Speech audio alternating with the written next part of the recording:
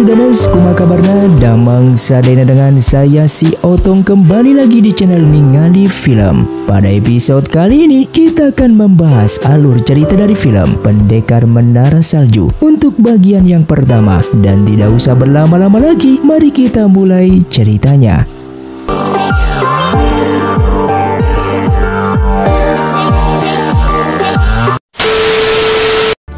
Pun diawali dengan diperlihatkannya seorang perempuan yang sedang menunggu kedatangan ayahnya pulang dan ia bernama Sujing yang berasal dari sekte darah yang sangat senang bisa melihat ayahnya kembali setelah beberapa tahun tidak bertemu karena orang tua satu-satunya hanyalah sang ayah yang masih hidup. Sang ayah yang bernama Suwei ini memberikan sebuah lentera kepada anaknya karena Sujing yang sangat rindu kepada sang ibu dengan menuliskan kedamaian di lentera tersebut dan menerbangkannya dengan harapan sang ibu bisa tenang di alam sana. Namun tiba-tiba lentera itu diserang oleh seseorang misterius yang membuat lentera tersebut jatuh ke tanah. Bahkan mereka berdua pun diserang olehnya yang membuat sang ayah harus melindungi putrinya itu.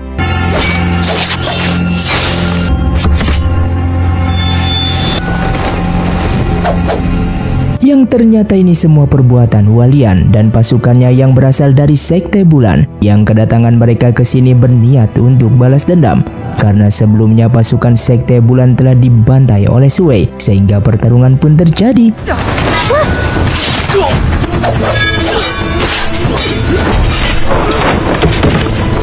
Meskipun hanya seorang diri, namun Suwei mampu menepis serangan dari lawan.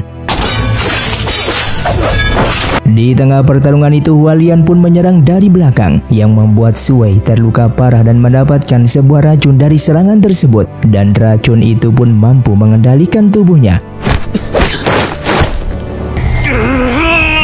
Suwei yang saat ini sudah dikendalikan oleh Walian dan tidak sadarkan diri langsung diperintahkan olehnya untuk membunuh Sujing.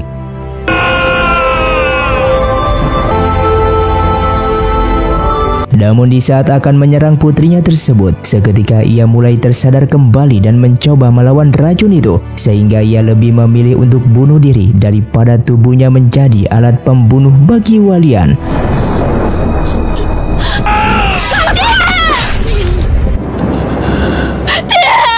Yang membuat Sujing sangatlah bersedih dengan melihat sang ayah meninggalkannya seorang diri karena satu-satunya yang ia punya dan yang ia sayangi harus pergi meninggalkannya. Di saat itulah ia bersumpah akan membunuh Walian dan pasukannya suatu saat nanti untuk balas dendam yang ternyata ibunya dulu pun dibunuh oleh sekte tersebut. Namun Walian yang merasa terancam akan membunuhnya saat ini. Lalu datanglah pasukan dari Sekte Menara Salju yang dipimpin oleh Xiao Sui yang langsung menolongnya di sana. Lalu ia pun memerintahkan pasukannya untuk membawa Su Jing pergi dari sini.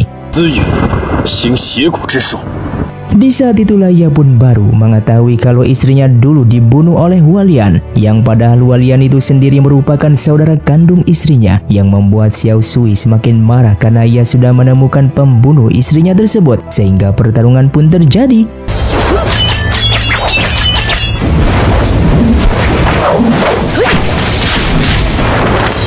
Namun karena teknik bela diri mereka sama-sama kuat, Walian pun langsung pergi dari sana. Sementara Xiao Sui mendapatkan luka yang cukup dalam akibat terkena serangan tadi.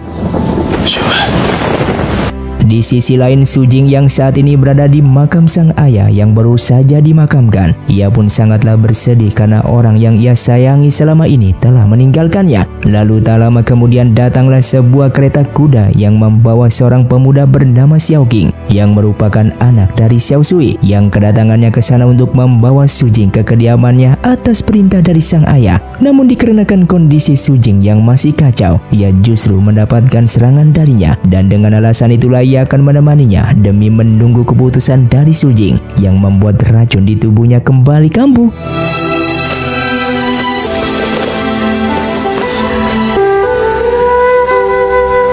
Oleh karena itu Paman Liu pun langsung membawanya ke sekte lembah pasir untuk mendapatkan bantuan dari gurunya. Hingga sampailah di sana, Xiao King pun langsung diberikan sedikit tenaga dalam oleh kedua master tersebut yang bernama Master Bai dan Master Su yang merupakan gurunya Paman Liu. Lalu kedua master itu mengatakan kalau racun ini sangatlah mematikan dan mereka sangat terkejut kalau racun ini sudah berada di dalam tubuh Xiao King sejak lahir karena yang mereka tahu kalau racun ini bisa membunuh tubuh seseorang seseorang dengan waktu beberapa jam saja, sedangkan Xiao Xiaoqing memiliki racun ini sudah bertahun-tahun lamanya.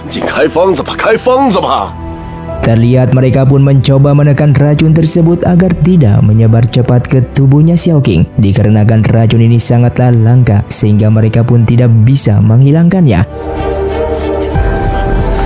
Di sisi lain, Su Jing yang sudah bangun dari tidurnya, ia pun langsung didatangi oleh King Lan yang bermaksud untuk mengantarkan makanan. Namun entah apa yang ada di pikirannya Su Jing, ia malah kabur dengan membawa pedang ayahnya hingga sampai berada di ujung tebing.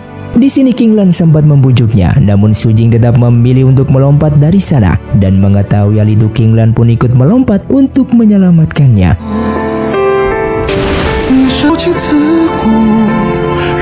Di saat mereka kembali, terlihat Sujing yang tersenyum kembali setelah atas apa yang menimpanya dan ternyata itu perbuatan Kinglan yang telah membawakannya kunang-kunang di sana. Hal itu membuat King Yu yang merupakan adiknya sedikit kesal kepada sang kakak karena lebih perhatian kepada Sujing dibandingkan dirinya. 陪着你。 Karena Sujing yang telah sadar dan ia telah menerima kepergian orang tuanya, ia juga telah berjanji untuk hidup dengan baik dan menjalani semuanya tanpa bersedih. Sehingga ia pun memohon kepada Master Bai untuk mengajarinya bela diri dan mengangkatnya sebagai muridnya. Di sini Master Bai pun menyetujuinya, namun dengan satu syarat, yaitu Sujing harus memberikan pedang milik ayahnya itu untuk sang Master Rawat. 好， 便再无血微剑重现江湖。 Setelah itu Sujing pun mengunjungi Xiao King yang belum sadarkan diri. Sebelum esok pagi Xiao King yang dibawa pergi dari sana demi mencari pengobatan untuknya. Di sini ia juga merasa bersalah karena menurutnya penyebab racun Xiao King kembali kambuh akibat dirinya. Bahkan ia berharap bisa bertemu kembali dengannya suatu saat nanti. Yang ternyata apa yang ia ucapkan terdengar jelas di telinga Xiao King. Yang rupanya Xiao King hanya berpura-pura tertidur di sana. Hingga keesokan paginya sebelum mereka berangkat, terlihat Master Bai memberikan obat untuk Xiao King dan di sini harus sedikit bersedih karena ia yang akan ditinggal oleh saudaranya demi untuk menyembuhkan Xiao King yang saat ini terluka parah.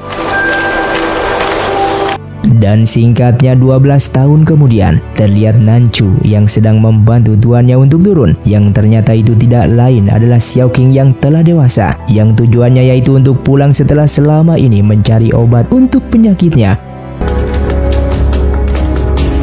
Walaupun penyakitnya itu belum sembuh sepenuhnya, akan tetapi kekuatan teknik bela dirinya tidak bisa diremehkan sedikit pun. Hal itu dibuktikan ketika ia baru sampai di sana dan diserang oleh beberapa pembunuh, namun ia hanya butuh satu serangan saja untuk menghabisinya.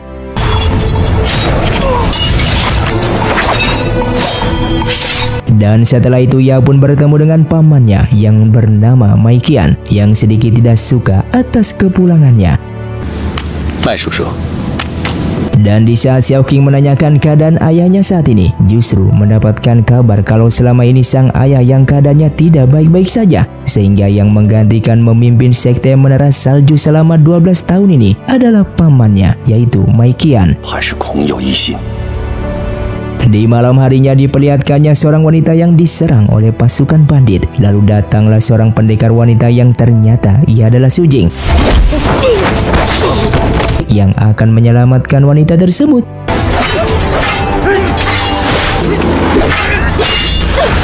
Namun dikarenakan teknik bela dirinya yang belum sempurna membuat dirinya kewalahan melawan para musuh di sana sehingga Xiao King datang yang langsung menyelamatkan mereka berdua. Dan inilah pertama kalinya mereka bertemu setelah 12 tahun terpisah yang ternyata Sujing telah menyadari jika pendekar di hadapannya ini adalah Xiao King setelah wanita tersebut memanggilnya dengan tuan muda dari sekte menara salju. 是听雪楼的少楼主。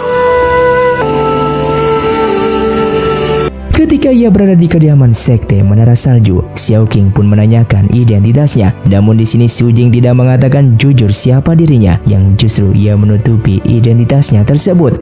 我师我师父精通医术， Dan disinilah pertama kalinya Su Jing mendatangi makam ayahnya dan ibunya setelah 12 tahun tidak mengunjunginya.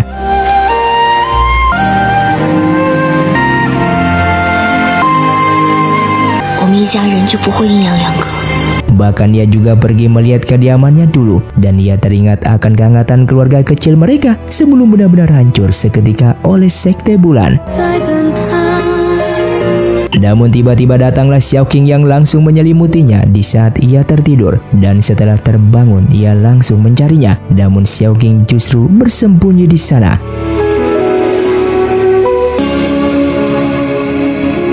Hingga keesokan paginya Xiao King yang sudah mengetahui kalau kaki tangan pamannya itulah yang telah meracuni ayahnya dengan memberikan makanan yang beracun. Justru ia lebih memilih diam karena tidak ada bukti yang kuat untuk menuduh sang paman. Lalu demi untuk menyelamatkan sang ayah, ia pun rela melepaskan gelangnya yang ternyata gelangnya tersebut digunakan untuk menekan racun di tubuhnya selama ini. Dan di malam harinya di saat ia sudah mengetahui identitas dari Sujing, ia pun berencana mengusirnya dari kediamannya karena ia tahu sebentar lagi pamannya akan menyerang dirinya. Namun belum sempat Sujing diusir dari sana, pamannya bersama pasukannya pun sudah datang yang berniat untuk membunuh mereka semua. 给我 Di saat Sujing mencoba melindungi Xiao King, hal itu membuat Xiao King menjadi marah sehingga ia mengeluarkan kekuatan yang sesungguhnya.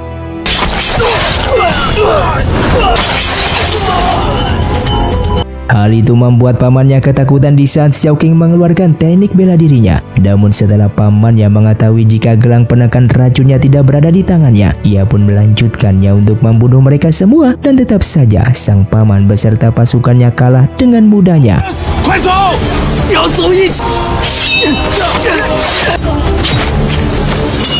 Hingga keesokan paginya, Su Jing pun bertemu kembali dengan Xiao Sui yang merupakan ayahnya Xiao King. Setelah 12 tahun lamanya mereka tidak bertemu. Dan di sini Xiao Sui merasa kagum kepadanya karena sekarang Su Jing yang saat ini sudah dewasa dan sudah mengetahui apa arti sebuah kehidupan yang sesungguhnya. 若是想要报仇， Saat ini kedekatan Xiao King dan Su Jing semakin mendalam ketika Su Jing membawakan obat untuknya dan terungkaplah bahwa gurunya Xiao King selama ini hanya mengajarkan bela diri mendasar kepadanya. Entah apa maksud gurunya tersebut. Yang jelas gurunya tidak mau jika Su Jing balas dendam atas apa yang terjadi kepada kedua orang tuanya.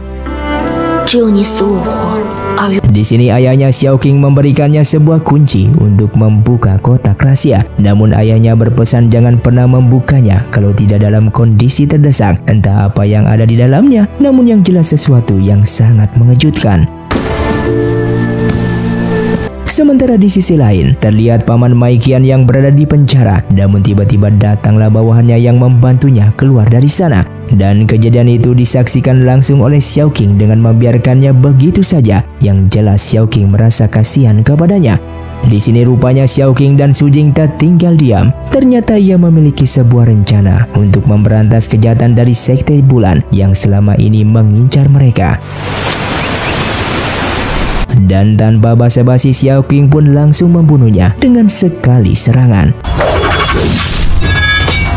Hal yang tidak terduga ternyata kini Sekte Lembah Pasir harus menghadapi Guguang dan pasukannya dari Sekte Bulan yang maksud kedatangan mereka tidak lain untuk membunuh semua orang yang ada di lembah tersebut. Mereka yang menganggap bisa masuk dengan mudah dan bisa membunuh orang-orang di dalam sana. Nyatanya Guguang dan pasukannya dibuat rata oleh mekanisme di sana, bahkan hanya menyisakan dirinya sendiri. Setelah itu King Lan bersama Master Bai datang ke sana setelah menyadari jika ada penyusup yang masuk di kediaman mereka. Lalu cerita pun beralih di Gunung Lingjiu, tempat kediaman Sekte Bulan. Terlihat Walian yang merupakan pemimpin dari Sekte Bulan yang ternyata selama ini selalu mencari masalah dan sangat berambisi ingin menguasai dunia persilatan.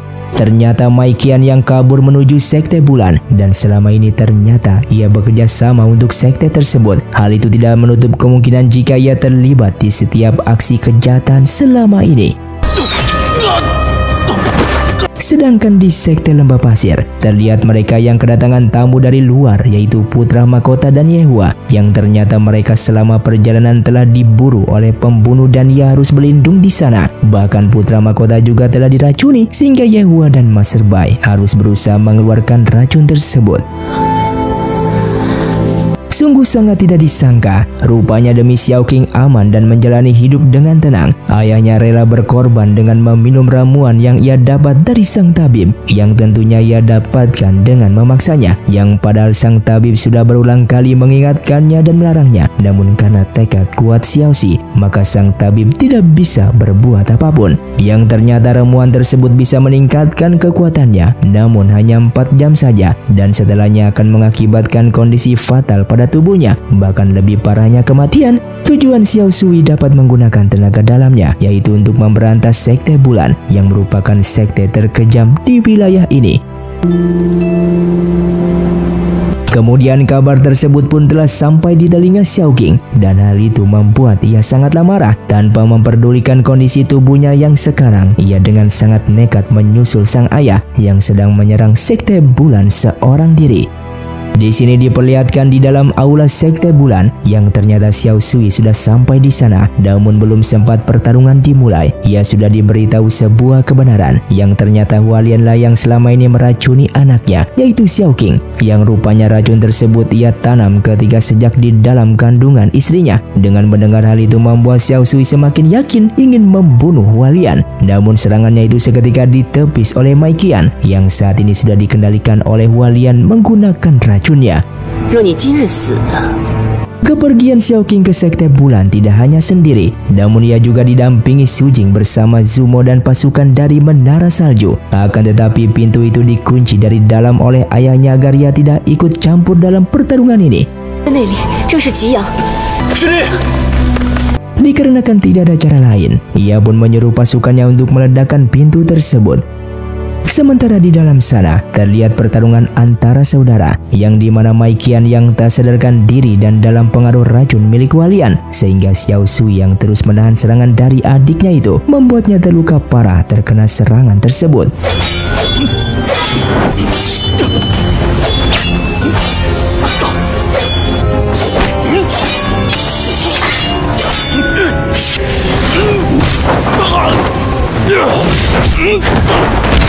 Dan di sinilah pertama kalinya Xiao King benar-benar marah ketika ia melihat dengan jelas ayahnya tertusuk tepat di hadapannya. Dan dengan kekuatan penuh, ia langsung membunuh pamannya hanya dengan satu kali serangan. Bahkan ia juga mematahkan tulang-tulangnya yang tentunya itu semua layak didapatkan oleh sang paman.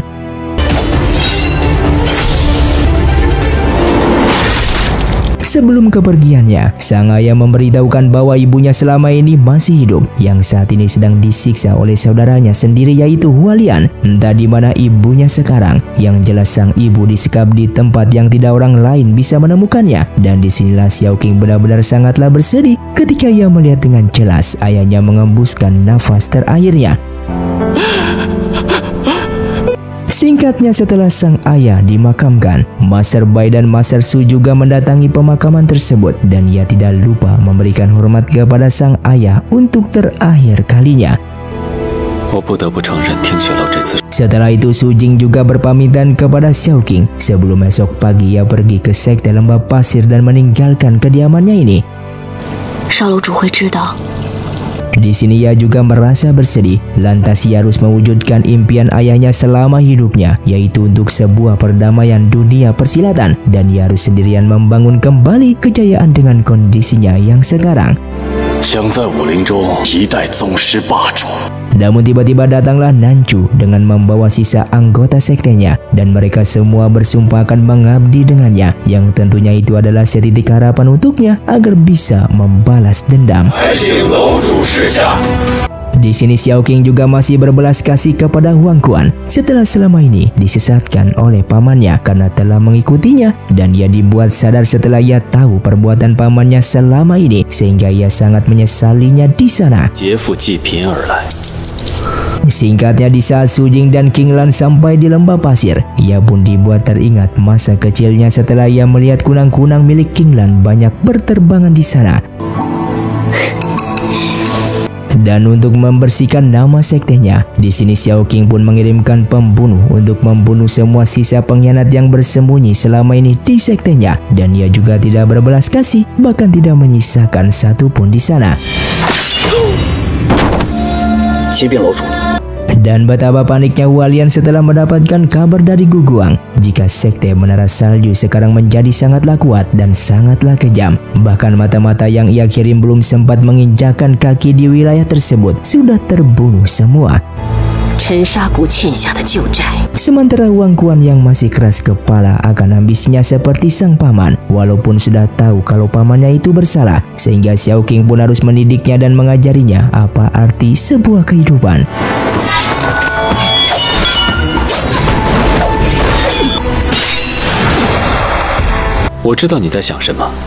我知道你在想什么。 Yang pada akhirnya Wang Kuan pun mau bergabung dengannya dan mengabdi untuknya dalam membasmi sekte bulan agar dunia persilatan kembali damai.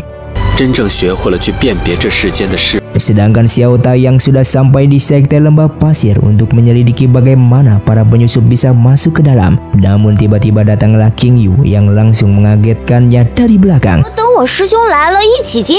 Ternyata kedatangan Xiao Tai dan King Yu ke sekte lembah pasir, yaitu untuk memastikan keamanan mereka semua. Setelah Xiao King mendapatkan kabar dari Zumo, jika ada penyusup yang telah masuk ke lembah pasir tersebut, 随他娘，这我一点儿都管不了啊！ Di sini Xiao King juga mengingatkan sang master karena bencana mengancam dunia persilatan dan kekuatan sang master yang saat ini tidak sekuat dulu karena setengah kekuatannya telah diberikan kepadanya untuk menekan racun di tubuhnya ini. Dan ternyata Xiao Tai ini merupakan putri satu-satunya dari Master Su yang ia titipkan kepada Xiao King selama ini. 我刚才说什么了？我 Di sisi lain, terlihat Yehua yang sungguh sangat tidak disangka bahwa mata-mata sekte bulan adalah Yehua. Hal itu terbukti ketika Yehua mencuri peta masuk sekte lembah pasir darinya. Di sinilah perpisahan mereka dengan putra mahkota karena dirinya telah dicari pengawal kerajaan. Dan di saat King Lan bersama Sujing yang sedang berbincang, tiba-tiba datanglah segerombolan kelelawar yang langsung menyerangnya. Yang itu semua tidak lain ular dari Yehua. Dan saat kelelawar tersebut hampir melukai Sujing, tiba-tiba datanglah Xiao King yang langsung menolongnya di sana. Di sini mungkin mereka bisa dibohongi, namun tidak untuk Xiao King begitu bertemu dengannya dan Xiao King pun langsung mencurigainya. Yang tentunya Yan Hua sangatlah panik karena yang berdiri di hadapannya bukanlah manusia bodoh yang bisa ia tipu dengan cara apa pun rupanya. Untuk menutupi kebusukannya itu, di sini ia pun rela meracuni dirinya sendiri hanya agar mereka tidak mencurigainya terlalu dalam. Setelah itu Xiao King juga sudah mengingatkan King Lan di sana. Namun dengan kebodohannya ia malah lebih percaya kepada wanita yang tidak jelas asal usulnya tersebut. Dan baru saja diingatkan Xiao King kemarin untuk mewaspadai Yehua, tetapi King Lan yang malah mengabaikannya sehingga Yehua kabur dari sana. Dan sekarang keselamatan mereka semua sedang terancam karena Yehua merupakan seorang mata-mata. Belum lama kepergian mata-mata tersebut, Walian dan para pasukannya sudah sampai di depan pintu sekte lembah pasir yang tentunya akan sangatlah mudah bagi mereka untuk memasukinya karena peta lembah pasir tersebut sudah berada di tangannya berkat bantuan Yahua sebelumnya karena petaka mengancam keselamatan mereka. Di sini Sujing terpaksa harus mengambil pedang mawar darah milik ayahnya yang ternyata selama ini dibekukan oleh sang master di sana. Dan inilah pertama kalinya ia melihat dan memegang kembali setelah 12 tahun tidak melihatnya dan tidak berada di sampingnya. Tidak hanya pedang mawar darah yang disegel di sana, ternyata buku panduan pedang tersebut juga berada di sana. Yang pastinya ia akan mempelajari semua jurus pedang itu persis seperti apa yang ayahnya kuasai selama hidupnya. Namun belum sempat ia mempelajari panduan pedang milik ayahnya. Ia sudah dihadang Walian dan para pasukannya di sana, sehingga kali ini ia harus menghadapinya seorang diri karena Xiao King juga dihadang Yahua dan para pasukan sekte bulan lainnya.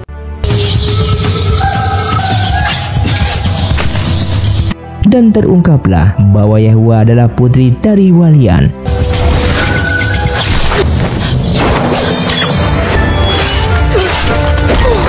Sementara kondisi Sujing yang saat ini sudah tidak berdaya, itu semua karena selama ini ia hanya diajarkan ilmu dasar oleh sang master, sehingga di kondisi seperti inilah ia harus mengandalkan seorang diri untuk melawan mereka semua. Tanpa punya rasa kemanusiaan, Walian menebaskan pedang mawar tersebut berkali-kali ke tubuh Sujing. Bahkan ia tidak berbelas kasih sedikit pun kepadanya.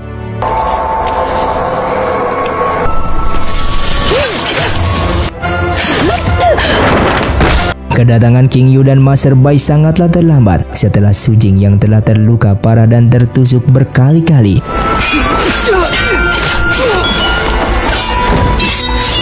Namun Master Bai menyuruh King Yu untuk membawa Sujing pergi dan dia akan menahan mereka semua seorang diri. Di sinilah pertarungan para Master yang sesungguhnya. Terlihat Master Bai harus menghadapi Walian dan para pasukannya di sana hanya sendirian karena yang menyerangnya tidak hanya satu orang.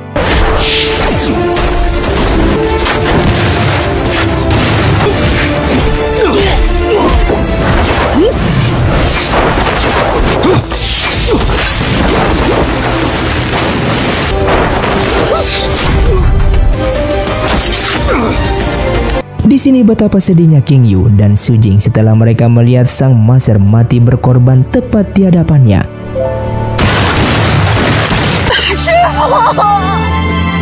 Karena mengetahui apa yang Yehua lakukan di sana, King Lan benar-benar marah dan ia langsung menarik pedangnya sampai ia berhasil menusuknya dan membawanya pergi untuk jaminan atas keselamatan dari sektenya.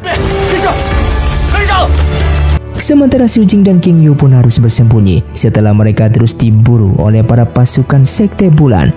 Dan keadaan Xiao King juga terluka parah hingga beruntungnya Xiao Tai dan Nancu bergas datang membantunya.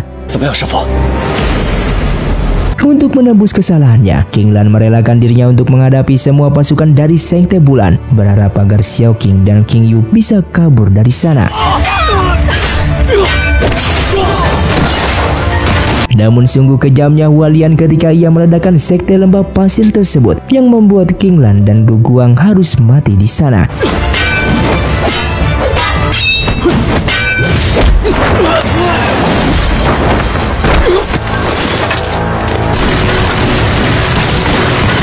Setelah Sujing bangun dari pingsannya, ia memaksa untuk pergi dari sana dan mencari saudaranya. Namun Xiao Tai menghalanginya. Lalu tiba-tiba datanglah Xiao King yang langsung mengizinkannya untuk pergi. Entah apa yang ada di pikirannya, yang jelas maksud dan tujuannya demi kebaikan Sujing.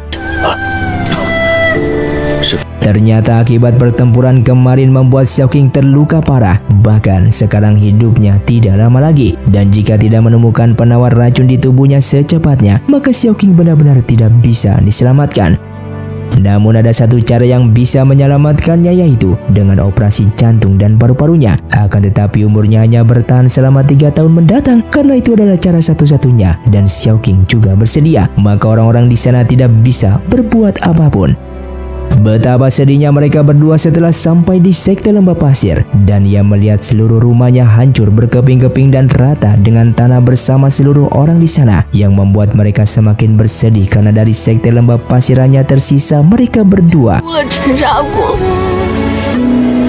了 Sementara kondisi Xiaoqing yang sedang melakukan operasi dan di sini ia harus menahan rasa sakit di tubuhnya sampai ia hampir tidak bisa bertahan. Namun karena ia memiliki tekad yang sangatlah kuat, operasi tersebut pun berjalan dengan lancar.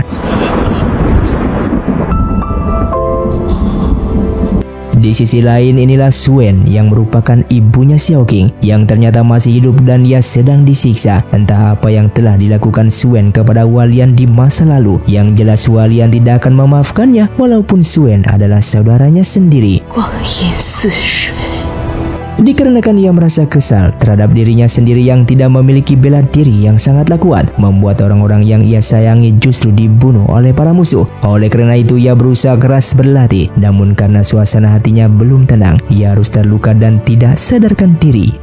你以为这样就能隐藏自己的伤势？ Beruntungnya Xiao King yang dari tadi mengintainya langsung menyelamatkannya dan dengan segera ia pun dibawa untuk dirawat menuju sekte menara salju.